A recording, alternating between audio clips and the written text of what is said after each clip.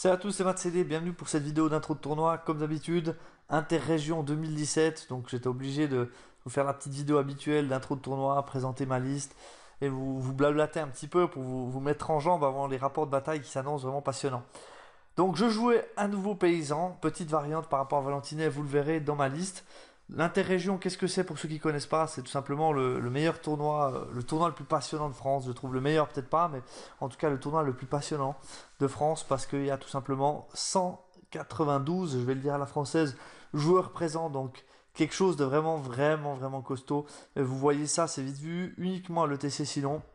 Les tournois d'une telle, telle ampleur. Donc euh, c'est avec grand plaisir qu'on a monté une team suisse malgré que c'était dans le Périgord un petit peu loin de nos contrées en Suisse, mais euh, ça valait clairement les 7 heures de route pour y aller. C'était vraiment un tournoi extraordinaire, un très bon week-end à passer.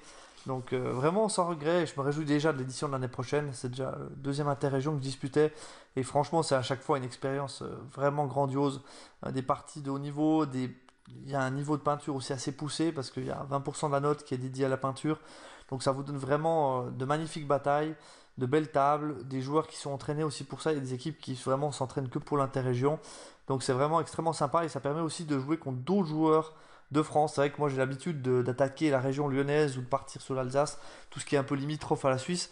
Par contre, un petit peu moins euh, les Îles-de-France, Hauts-de-France et compagnie. Euh, voilà, des, des régions que je connaissais pas du tout. Donc ça fait plaisir aussi de rencontrer d'autres joueurs et respectivement pour moi euh, d'autres abonnés. c'est vrai que c'est très sympa d'échanger toujours à ce sujet-là et c'est aussi une raison pour lesquelles je, je tiens ma chaîne YouTube bien sûr. Alors, le tournoi, 5 parties sur 2 jours, 3h30 la ronde, pairing inclus, tirage au sort, puis ronde suisse, et comme je vous l'ai dit, 192 joueurs en tout. Donc vraiment euh, très très très costaud comme tournoi. Ma liste d'armée, alors voilà, je vais faire un truc vraiment bien. Vous voyez que j'ai pris une petite photo euh, d'un déploiement, et puis je vous l'ai posté en dessous comme ça, il n'y a, pas de doute possible. Donc j'ai un premier duc qui est mon général d'armée, qui a la chronophotocratie qui le fait passer à commandement 10, Virtue of Humility qui lui permet de donner GG, GG et GB euh, unités insignifiantes à 12 pas et il est général de l'armée. J'ai un duc tout à droite qui est monté sur Pégase, un très belle figue. Je remercie au passage les gens qui m'ont prêté des figues. Euh, Samo pour tout ce qui était euh, thème impérial, inclus le Pégase, etc. Très très belle armée. Je remercie Seven pour les deux trébuchets Estegadon qui sont juste sublimes. Il a converti toute une thème, euh, toute une Bretonnie en, en thème euh, homme lézard. C'est absolument sublime. Très très beau boulot à lui. Merci beaucoup. Et puis encore Xavier, je crois qu'il y a, c'est quelqu'un qui a dû lui prêter aussi des figues. Mais en tout cas, il y a la partie des Bretoniens de Xavier qui sont plutôt euh, bleus et jaunes. Et puis euh, je sais plus quel est le dernier joueur qui m'a prêté encore un bloc d'infanterie. En tout cas, euh, merci beaucoup à vous pour les figues. Alors la demoiselle, 4 spells, non pardon, j'étais au duc, excusez-moi. Donc lui en gros, monté sur Pégase, il est déjà en 1 plus relançable grâce à son... le Crusader Helm, ça lui permet de relancer, voilà, le 1 plus relançable est immunisé au coup fatal. Divine Icon, il a des attaques divines, il en Flèche Render, donc il tape à Force 6, Perfou 1. Questing Haute, ça lui permet de manier un bouclier et une arme lourde en même temps. Il fait PV double sur tout ce qui est euh, Towering Présence. Virtue of il relance touché et blessé dès qu'il y a un adversaire euh, force ou endurance 5 dans l'unité au contact. Donc vraiment très sympa. Et en plus, il est tenace contre ce même adversaire-là. Donc c'est vraiment un perso qui est fait pour aller chercher du gros bill. Il n'est pas donné. Euh, il est assez fragile du fait qu'il a que 3 PV. Mais après, euh, ça reste un perso qui vraiment peut se poser devant euh, pas mal de gros bills et dire viens me charger, je te déboîte. Donc vraiment très sympa à jouer. une demoiselle habituelle, un 4 spell divination, Ring of Fire, Dispel Scroll, Wizard Master. 3 blocs de paysans avec musicien Spears. 5 Mountain Diaomen Throwing Weapon, mes 2 x 15 brigands que j'adore, les 2 reliquaires, les 2 trèbes. Voilà, le reste on est bien sûr dans du classique. Objectif pour moi de, de cette interrégion à titre personnel, après j'ai élaboré un tout petit peu aussi au niveau de l'équipe, mais déjà tester la version Pégase de la liste, parce que j'en ai entendu parler, je sais que ça joue aussi notamment en Italie, donc c'est aussi l'occasion pour moi de le tester. Tester bien sûr de nouveaux match-up avec les paysans.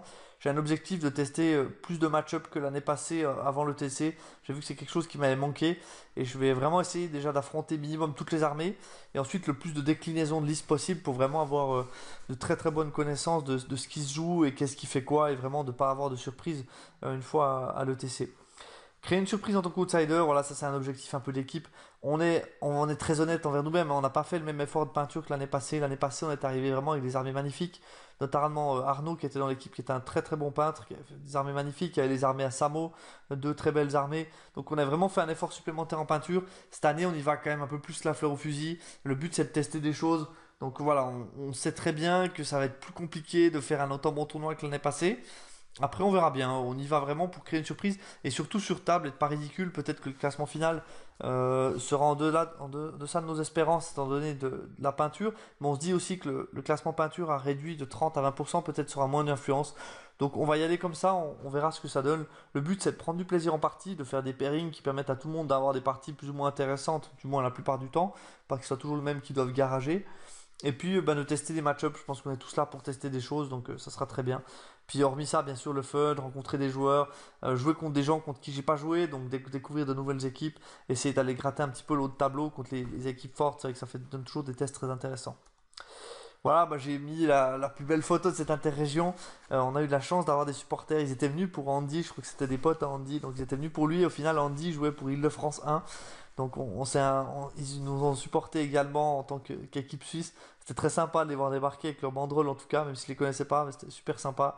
Euh, j'ai profité d'immortaliser la chose, donc euh, ils ont amené un petit peu d'ambiance qui était la bienvenue dans cette interrégion. C'était vraiment super sympa de leur part.